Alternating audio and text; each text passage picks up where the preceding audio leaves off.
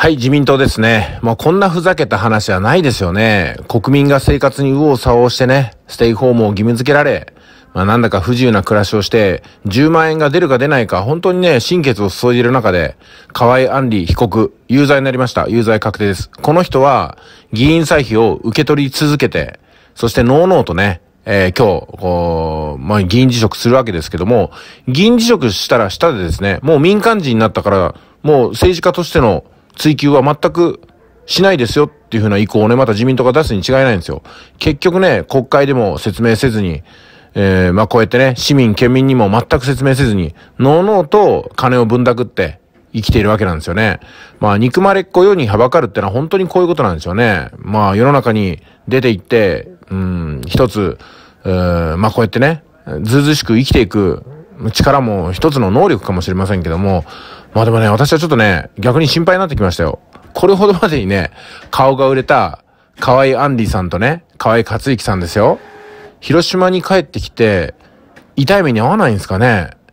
広島といえば仁義なき戦いですからね。いや、本当になんか、ひどい目にあったりしなければいいなと、なんかこう、恨みを買って、なんか妙なことになんなきゃいいなって、本当に逆に心配になってきましたよ。いや、私ね、この、河合安里、河合克行、二人大嫌いではあるんですけども、でもちょっとね、気の毒なような気もしてきました。というのが、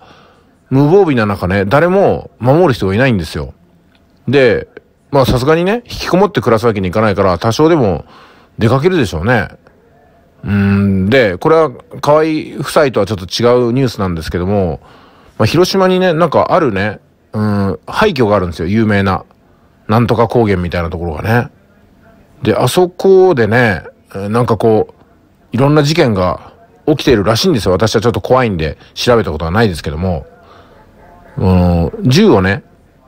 バンバーンと撃つ音が聞こえたとか、なんかこう、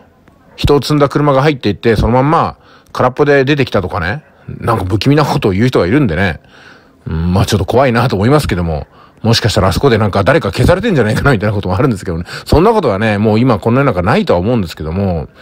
うん、人のね、恨みとか妬みってのはどういう方向に向かうかわかんないですからね。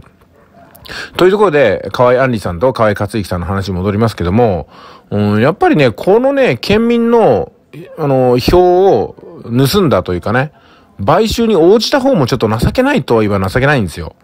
いや、本来だったらね、これ議員辞職だけではなくて、買収で金をね、握った方もそれやめないといけないでしょ。やめた人もいますけどもね。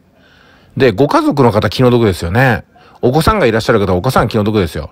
お前買収に加担した親父がいるんだろうとかね、言われるわけですからね。そういうことを考えたら、そんな10万、20万、300万、なんかいくらかわかんないけど、どっちにしても、まあ、はした金ですよ。うん、あんまりにも自分の立場を安売りしすぎたんじゃないかなと思います。買収した方も、された方も。こんなね、結構嘘はね、続かないんですよ。嘘をつき続けて平気なのは安倍総理だけ。安倍総理たった一人ですよ。あとはね、それなりに なんかこう、恥じているところがあると思いますよ。うん、なんか、気の毒なような気もしてきましたね。あとね、やっぱりこういう動画ばっかり私も撮りたくないんですけども、やっぱこう、ねね、良くないですよ。こういうのは。これ見て見ぬふりして、ね、もう時間が経ったら忘れてでいいわけがないんで、せめてね、私だけでもちょっと怒りをぶつけるためのね、3分4分ちょっと話させてもらいました。いや、本当にね、もう、なんと言いますかね、就職にあぶれてね、それこそ今日の金もなくって、で、私の友人でもいるんですけども、本当にね、あの、50代で、お母さんの介護をしながらね、それでも、なんか心残りのまんま、うん、まあ見送ったというか、ダビに付したというね、もう本当に切ないですよ。そういう人が、ワンサがいる中で、そういった人の犠牲の上にね、こういったのうのうと君臨する人間がいると思うとね、本当に悔しいですよ。ああ、なんとかなんないんですかね。必殺仕事人とか出てこないんですかね、この世の中には。うん、必殺、必殺、仕事の後は仕事だぜ、みたいなね。では失礼します。